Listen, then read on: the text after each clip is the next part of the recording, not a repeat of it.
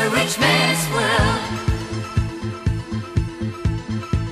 A man like that is hard to find, but I can't get him off my mind.